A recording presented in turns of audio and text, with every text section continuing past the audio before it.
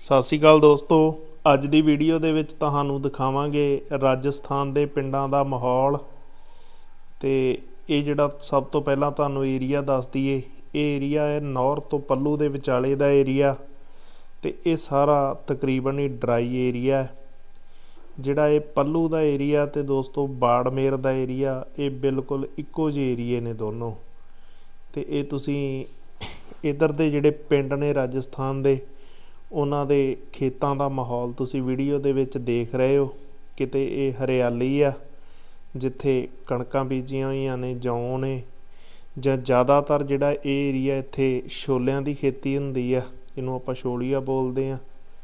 ਤੇ ਇਹ ਸਾਰਾ ਜਿਹੜਾ ਟਿੱਬਿਆਂ ਵਾਲਾ ਏਰੀਆ ਤੁਸੀਂ ਵੀਡੀਓ 'ਚ ਦੇਖ ਰਹੇ ਹੋ, ਸਾਹਮਣੇ ਭੇਡਾਂ ਬੱਕਰੀਆਂ ਚੱਲ ਰਹੀਆਂ ਨੇ ਟਿੱਬਿਆਂ ਦੇ ਉੱਪਰ। ਬਹੁਤ ਸੋਹਣਾ ਮਾਹੌਲ ਆ, ਸ਼ਾਮ ਦਾ ਸਮਾਂ ਹੈ। ਤੇ ਅੱਗੇ ਵੀਡੀਓ ਦੇ ਵਿੱਚ ਸਾਹਮਣੇ ਦਿਖਾਈ ਦੇ ਰਹੇ ਪਿੰਡਾਂ ਦੇ ਕੱਚੇ ਘਰ ਨੇ, ਜਿਨ੍ਹਾਂ ਨੂੰ ਅੱਜ ਵੀ ਲੋਕ ਉਸੇ ਤਰ੍ਹਾਂ ਕਲੀ ਵਗੈਰਾ ਕਰਕੇ ਤੇ ਇਹਨਾਂ ਨੂੰ ਸਜਾਇਆ ਹੋਇਆ ਹੈ। ਇਧਰ ਜਿਹੜਾ ਏਰੀਆ ਹੈ, ਇਹ ਵੱਖਰਾ ਹੀ ਰੂਹ ਨੂੰ ਸਕੂਨ ਜੀ ਦੇਣ ਵਾਲਾ ਤੇ ਬੜਾ ਸ਼ਾਂਤ ਜਿਹਾ ਮਾਹੌਲ ਹੈ ਇਹਨਾਂ ਪਿੰਡਾਂ ਦਾ। ਇਹ ਸਾਹਮਣੇ ਵੀਡੀਓ 'ਚ ਤੁਸੀਂ ਦੇਖ ਰਹੇ ਹੋ, ਇੱਕ ਕੱਚਾ ਘਰ ਦਿਖਾਈ ਦੇ ਰਿਹਾ ਹੈ ਤੇ ਇਹ ਨਾਲ ਨਾਲ ਜਿਹੜੇ ਪਿੰਡ ਨੇ, ਉੱਥੇ ਖੇਤੀ ਜਿਹੜੀ ਹੁੰਦੀ ਆ ਇੱਧਰ ਜ਼ਿਆਦਾਤਰ ਲੋਕਾਂ ਦੇ ਕੋਲ ਊਠ ਆ ਅਤੇ ਊਠਾਂ ਦੇ ਨਾਲ ਹੀ ਇਹ ਖੇਤਾਂ ਦੇ ਵਿੱਚ ਵਾਈ ਵੀ ਕਰਦੇ ਨੇ, ਜਿਵੇਂ ਆਪਣੇ ਲੋਕ ਪਹਿਲਾਂ ਬਲਦਾਂ ਦੇ ਨਾਲ ਕਰਦੇ ਸੀ ਤੇ ਇੱਧਰ ਊਠਾਂ ਦੇ ਨਾਲ ਜ਼ਿਆਦਾ ਕਰਦੇ ਆ। ਇਹ ਵੀ ਆਸੇ-ਪਾਸੇ ਜਿਹੜੇ ਤੁਸੀਂ ਵੀਡੀਓ ਦੇ ਵਿੱਚ ਟਿੱਬੇ ਦੇਖ ਰਹੇ ਹੋ ਤੇ ਇਹ ਬਹੁਤ ਸੋਹਣਾ ਆਪਣੇ ਆਪ ਦੇ ਵਿੱਚ ਇੱਕ ਸਿਨਰੀ ਵਰਗਾ ਮਾਹੌਲ ਆ ਜਿਹੜਾ ਨਜ਼ਰ ਆਉਂਦਾ ਹੈ।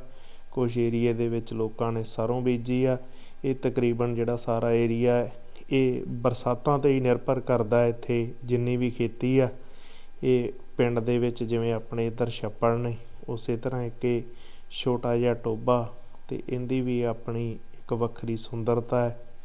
ਇਹ ਪਿੰਡ ਆ ਗਏ ਪਿੰਡਾਂ ਦੇ ਵਿੱਚ ਜਿਵੇਂ ਕੱਚੇ ਘਰ ਨੇ, ਕੱਚੀਆਂ ਕੰਧਾਂ ਤੇ ਇਹ ਊਠ ਸਾਹਮਣੇ ਦਿਖਾਈ ਦੇ ਰਿਹਾ ਹੈ। ਇਹ ਵੀ ਸਾਹਮਣੇ ਕੱਚਾ ਘਰ ਆ, ਇਹ ਤਕਰੀਬਨ ਜਿਹੜਾ ਏਰੀਆ ਸਾਰਾ ਇੱਧਰ ਜ਼ਿਆਦਾਤਰ ਜਿਹੜੇ ਘਰ ਨੇ, ਉਹ 50% ਕੱਚੇ ਤੇ 50% ਪੱਕੇ ਨੇ। ਇਹ ਵੀਡੀਓ 'ਚ ਦਿਖਾਈ ਦੇ ਰਹੇ ਸਾਰੇ ਕੱਚੇ ਘਰ ਤੇ ਪੁਰਾਣਾ ਜਿਹਾ ਮਾਹੌਲ ਆ, ਜਿਵੇਂ ਪੰਜਾਬ ਦੇ ਵਿੱਚ ਵੀ ਪਹਿਲਾਂ ਇਦਾਂ ਦਾ ਮਾਹੌਲ ਹੁੰਦਾ ਸੀ, ਛੋਟਾ ਜਿਹਾ ਬੱਚਾ ਆਪਣੇ ਘਰ ਦੇ ਵਿੱਚ ਬੈਠਾ ਨਜ਼ਰ ਆਉਂਦਾ ਹੈ। ਤੇ ਦੋਸਤੋ, ਉਮੀਦ ਆ ਤੁਸੀਂ ਇਹ ਵੀਡੀਓ ਦਾ ਆਨੰਦ ਮਾਣਿਆ ਹੋਵੇਗਾ। ਚੰਗੀ ਲੱਗੀ ਤਾਂ ਅੱਗੇ ਸ਼ੇਅਰ ਜ਼ਰੂਰ ਕਰ ਦਿਓ। ਧੰਨਵਾਦ।